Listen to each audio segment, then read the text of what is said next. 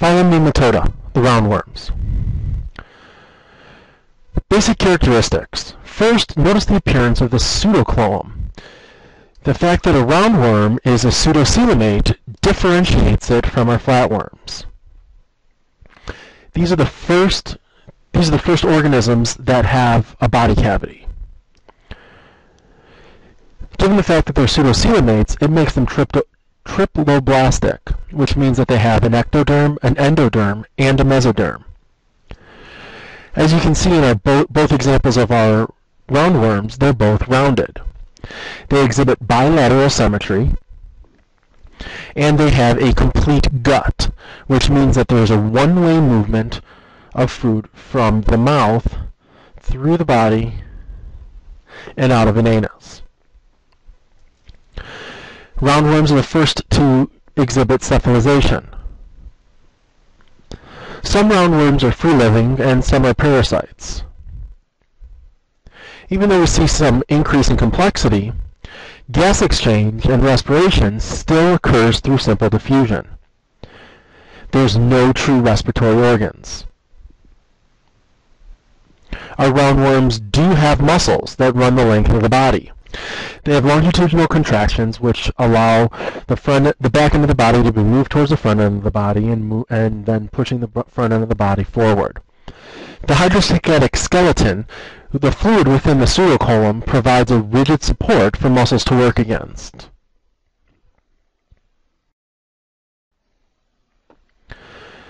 Very similar to our flatworms, there's a nerve ring at the anterior end and two nerve cords that are dorsal and ventral.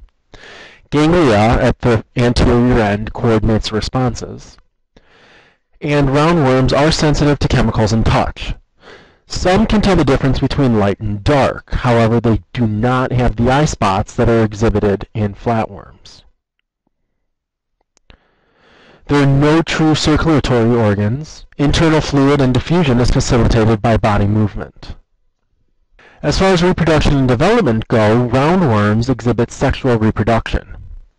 They have internal fertilization and use copulatory spicules to hold the vulva of the female open. So as we can see, the male in with produces sperm in the testes. The sperm duct moves to the end, and there's this copulatory spicule. What happens is it holds open the vulva and allows the sperm of the male to enter into the uterus of the female. Eggs of the female are microscopic and they are chitinous a chitinous shell, which means that they are protected by chitin. In parasitic roundworms, more than one host may be needed in order to fully develop from larva to adult. Some examples of roundworms are hookworms. Hookworms are found in warm climates where people often go barefoot when the barefoot comes in when the uh, hookworm comes in contact with the human skin, it cuts away it cuts away inside and travels through the bloodstream to the lungs. Once it's in the lungs, it moves then through the windpipe and up through the esophagus into the back of the throat, where eventually it's coughed up and swallowed into the stomach. The parasite then moves to the intestines, then moves through the intestines, and feeds on blood and other tissues. Eggs are passed through the intestines and released to the external environment through the feces, where they mature in the soil, develop into the larvae, which then re-enter the foot, re-enter through a foot.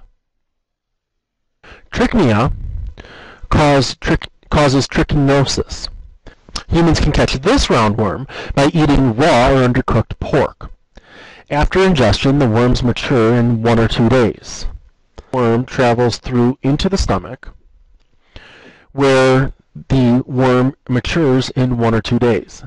Females then with fertilized eggs burrow through the intestinal walls of humans or pigs, the eggs hatch and move into and move into muscle cells, forming painful cysts. This can happen again in humans, pigs, or other mammals like rodents. The most common worm infection in humans is ascariosis worms. These eggs are found in tropical and subtropical climates. They enter the mouth through the body and live in the intestines. Infection can result infection results from eating unwashed veggies and from contaminated soil. Pinworms are the most common infection in the United States. The highest incidence of infection is in children. At night, the female at night females leave the anus and lay they leave the anus and they lay eggs on the skin. When the skin's scratched, the eggs are transferred to the hands and then to any other surface that's touched. Eggs can survive for up to two weeks and are ready to hatch if anyone else ingests them. This is most often seen in children, especially children, especially children that a lot of things in their mouths. These pinworms can, I said, live for about two weeks. These pinworms can live for about two weeks. So a child scratches while it's sleeping if it doesn't wash his hands, touches any kind of toys, doorknobs, handles, touches anything, it can then be transferred to another person and ingested through the mouth. Filarial worms cause a disease called elephantitis and is found in tropical areas. A mosquito sucks the blood from a person who's infected, and the worm embryos are passed into the insect's bloodstream. The embryos grow into larvae and is passed to another person when the mosquito bites them. Adult worms accumulate in the lymphatic system and obstruct the flow of lymph. This causes fluid to build up and causing legs and other body regions to enlarge.